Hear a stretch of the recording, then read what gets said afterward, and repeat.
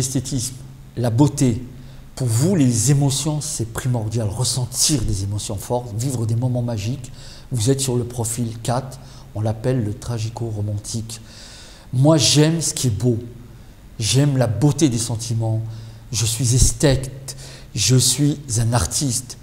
C'est vrai que j'ai un côté perfectionniste quand ça me motive. Quand j'aime bien faire quelque chose, je peux le faire d'une manière parfaite. Je déteste la routine. La banalité, pour moi, c'est très très difficile. Je suis un émotionnel. Quand j'étais petit, on me dit, voilà, tu travaillais pas bien à l'école parce que tu n'aimais pas ton prof, tu n'aimais pas l'école. Pour moi, aimer ou pas aimer, c'est important, je m'exprime comme ça. J'aime, je n'aime pas. Je vais travailler si j'aime, je ne ferai rien si je n'aime pas. Euh, je passe par des phases de mélancolie, de tristesse, et j'ai des hauts où je suis très très euphorique quand tout va bien. Je suis un artiste, je suis un romantique, je me veux différent, que ce soit au plan de l'habillement, que ce soit au plan des idées, au plan des émotions, j'ai des émotions très fortes, très puissantes.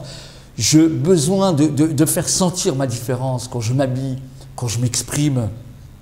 Je suis un, un idéaliste, je cherche le vrai, l'authentique, et je me pose souvent la question, mais qui suis-je?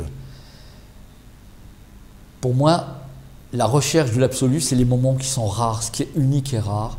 Vivre des moments uniques et rares, c'est pour moi, c'est le, le summum pour réduire un peu ce stress que j'ai de 4, d'être dans cet émotionnel, j'ai deux flèches, une qui va vers le 1, qui me permet de me structurer quand j'ai une idée qui est extraordinaire, que je veux mettre en place. Je peux même mettre à travailler dessus d'une manière parfaite, avec beaucoup de rigueur. Et j'ai cette flèche aussi qui va vers le 2, qui me permet d'aller vers l'autre, de faire de l'émotionnel vers l'autre, mais d'une manière plus équilibrée quand j'ai travaillé, donc mon 4 et mon 2. Voilà, ça c'est le profil 4 le romantique, l'artiste, on en a besoin.